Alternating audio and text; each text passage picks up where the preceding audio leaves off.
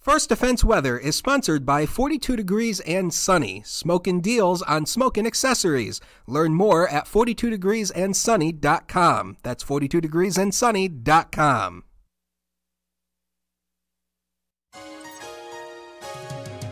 Fast, accurate, and everyday. First Defense Weather.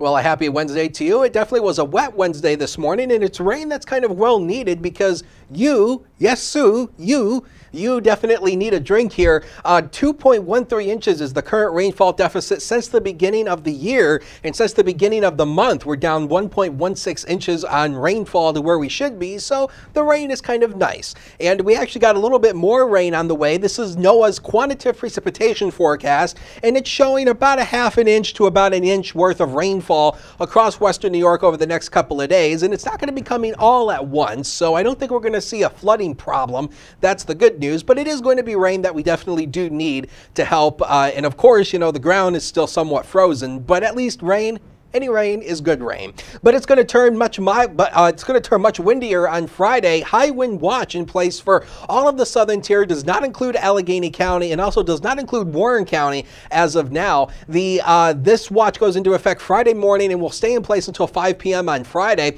And the strongest winds are going to be right near the Lake Erie shoreline, as often is the case. This is as another storm system goes directly over the area here. So southwest winds 25 to 35, some some gusts about 50 to 60 miles per hour power. And the main impacts here is going to be obviously tree and maybe some power line damage, so scattered uh, power uh, power outages will be likely. So let's step you through the day here on the in-house computer modeling. The rain that we had is tapered off, maybe some peeks of sunshine through the afternoon. And again, notice the model spitting up a couple rain showers through the afternoon. Wouldn't rule those out. I do think it is a possibility as that storm moves up into the upper Great Lakes, up into Canada. Then actually a, a couple scattered showers uh, this evening, then clears out overnight, partial clearing to start the day tomorrow. And then in the afternoon, as a storm system goes right over us, we'll see the influx of more moisture coming in. So rain showers through the afternoon on Thursday, and there could be some moderate to heavy downpours uh, within that Thursday afternoon, Thursday night, and then going into Friday. But the good news is we don't expect any severe weather out of that. The atmosphere just does not